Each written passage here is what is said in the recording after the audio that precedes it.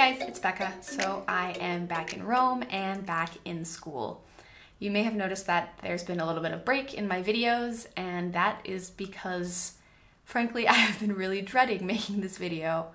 Um, I have not drawn at all for an entire month. Uh, and that's definitely the longest I've gone without drawing since I started my art journey over three and a half years ago. So it is a really big break in the norm, and there's a reason behind it, unfortunately. So I debated as to whether or not I really wanted to go into this on my channel because my goal for this channel is I want to be a positive source of encouragement for people. I want to have a positive energy. And what's most important to me is that I do not want to perpetuate this myth that being an artist is this like miserable, horrible, arduous process that's, you know, depressing. Um, because I don't feel like that. Usually I, I do feel positive about my art and I feel positive about the improvements I see and, and I, I enjoy what I'm doing. Uh, that being said, this last month was a really rough period for me. It was a very dark period for me and uh, I felt like ultimately it was better just to be honest about it and tell you guys what happened in hopes that maybe some of you can relate to it and can see that there is, of course, a light at the end of every tunnel. And I thought that was probably better than just pretending that it didn't happen because that felt a bit dishonest. So, this is what happened. Um, as maybe you know, I went back to the United States for Christmas to celebrate with my family. And when I got back, it was the first time that I really sat down and thought about my experience in Rome and whether I felt like I was on the right track, whether I felt like I was living by my values, whether it seemed like an experience that was um, all in all a positive experience for me. And I was very surprised because I had a very strong response of no, it was not. And it was not an experience that I wanted to continue. And it was extremely disturbing because it was the first time I'd really thought about this. And then the second I, I let myself think that, um, I was just completely flooded, just flooded with negative feelings and doubt and dread and this this very very strong feeling that I did not want to go back to school, that I did not want to go back to to Italy at all. I was just I I can only describe it as just feeling like I was drowning all of a sudden. And maybe this comes kind of as a, surprise because I feel like I've been pretty upbeat on my channel. And the fact of the matter is I have kept it together. I mean, for 3 months I really tried to stay as positive as possible. I tried to keep up my, you know, positive attitude and have a good mindset about things. But ultimately, um, I think I was just suppressing a lot of stress and a lot of anxiety. And towards the end, I basically started to fall apart. Um, my my entire premise of what I'd been working for for so long, this idea of respecting the learning process and being a patient person, I felt like I was kind of watching it crumble before my very eyes. And it was so disappointing because it really felt like I'd put a lot of work into something in myself. And I honestly felt like I had just reverted to this absolute worst version of myself who was just consumed by stress and anxiety and, and just just generally being very mean to myself and very critical of myself.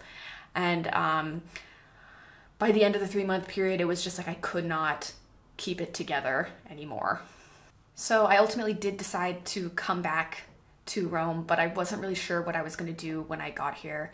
And one of the strongest feelings I was having was this absolute aversion to drawing. Like I like just looking at my iPad kind of made me feel ill.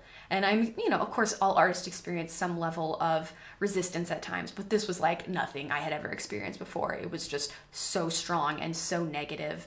And so basically, I, I, just kind of like walked around like a zombie for a week, trying to decide what I wanted to do. I even considered dropping out of school completely, which was honestly something I probably would have done if I thought it was legally possible. Um, and ultimately, it just came back to this idea where I was in this negative headspace and I knew it was a perception issue because I had spoken with my friends, I had spoken with my family. I knew, and everyone was very gentle with me, of course, but but it was not the actual situation that it was the problem. It was my mindset about the situation. Um, but I couldn't figure out how to get out of it. I mean, I was so stuck, and this was more stuck than I'd ever been anywhere in my art process so far. I've always been able to get myself out of whatever negative mindset I was in, and this time I was just so deep in it that I couldn't, I could not see how I was going to get out of this mentality and of this this sort of aversion to the whole idea of making art. So finally, after a few very horrible weeks of me just overthinking every decision and, and every possibility in my life, um, I finally met with the program director at school. And I had met with him, if you remember, in the past because I wanted to switch down to the entry level class instead of the middle level class. And ultimately, I did not do that. So I met with him again, and this time I said, Look, like this time I am 100% sure that I want to switch to the lower level class. I'm just, this is not a good fit for me. I, I can't do this. I'm too stressed. It's not the direction I want to go. Blah, blah, blah, a million excuses. And so we had a discussion about it, and somehow I ended up staying in the same class. I don't know. It's, it's like almost funny that I keep going there and trying to drop down classes and not being able to, but almost a joke, but yeah, it's still still too soon. Maybe in a few weeks we'll try out try that out as a joke. right now it's, it's a little painful. So that's where I am now. It's not the happiest ending to the story, but I am feeling a lot better. Being back in class has has helped me clear my head and I started drawing again and it makes me feel like okay, I'm I'm getting through this a little bit. And I also am working really hard to kind of rebuild some self trust because when you start doubting yourself like that, you really break down your self trust. And obviously, it does number on your mental health as well. So, right now, I'm trying to be really kind to myself and trying to um, make some some boundaries with my schoolwork and my expectations of myself and my hopes for what I'm going to do after this because a lot of this was rooted in me doing a lot of forward thinking and, and thinking about my long-term career and all of these things um, things I didn't have control over. So I am trying really hard to use this again as a learning experience um, and and going back to the basics, which are focusing on this as a learning process, doing the best that I can, and understanding that that this is not a perfect process, that I'm not a perfect person, and that um, these kind of things happen.